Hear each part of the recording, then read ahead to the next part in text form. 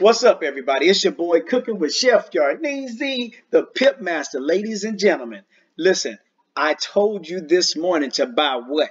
Knightscope. Okay? You don't believe me? Check the records. It's on my YouTube page. All right? But check it out. That sucker hit $27. Look at it. Look at it. All right? Look at my last video. Look at the video from Friday. $27.52. It went up there. Let's see. Let me go to my stock account. Let's look at what the high is for Knightscope. Let's look at the high. Let's see. Detail quote. Um, 2750 is the high. it missed it by two cents. What's the big deal, right? 2750 is the high for Knightscope. But this is what I want to show you. Check it out. This is Knightscope. All right. This is Knightscope. Autonomous security robots. That's what it is. Check it out.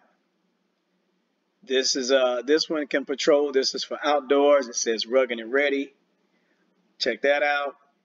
That's for indoors, versatile and vigilant.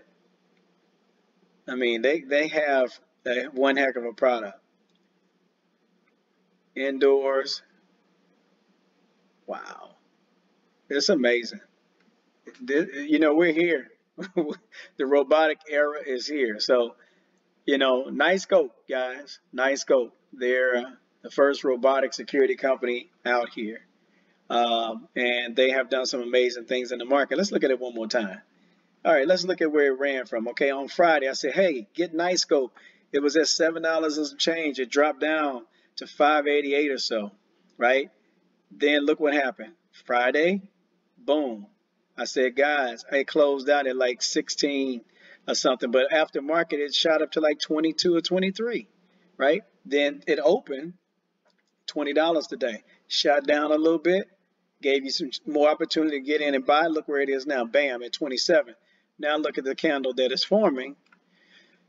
Right now, uh, looks like it wants to come down a little bit, but um, it's on a buy trajectory. So my next prediction is 34.98. My next prediction is 34.98. And I got to keep doing this in steps and increments, okay? just because it's so new. Like I'm shocked to see a 200 day moving average on this stock, but that's what it is. I'm your boy. Holla at me if you made some money off of this. This morning it dropped down. I said it was at like 18 when I was posting.